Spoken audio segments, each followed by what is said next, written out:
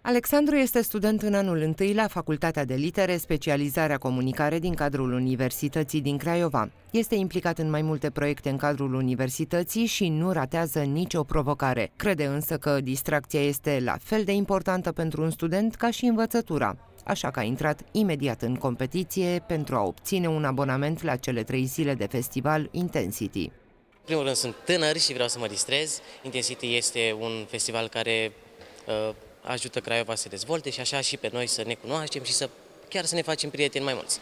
A fost așa un comentariu mai creativ în ceea ce privește studenții.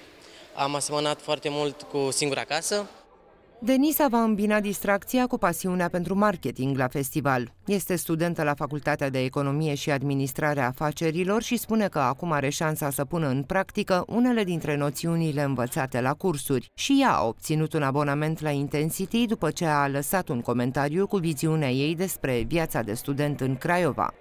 Sincer să fiu, m-am gândit să fac și content de la festival, să filmez momentele plăcute din uh, eveniment și să repostez pe rețelele de socializare. Așa se poate promova și atât festivalul cât și artiștii.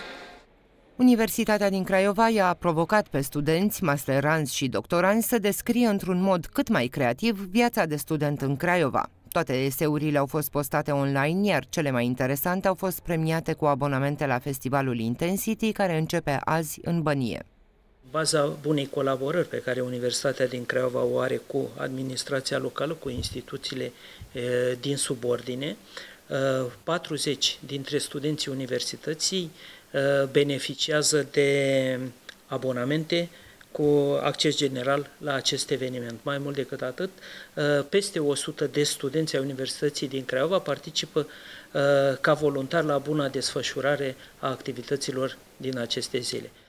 Studenții care au câștigat astfel de abonamente au acces în toate locurile de spectacole și de distracție din cadrul festivalului în perioada 28-30 iunie.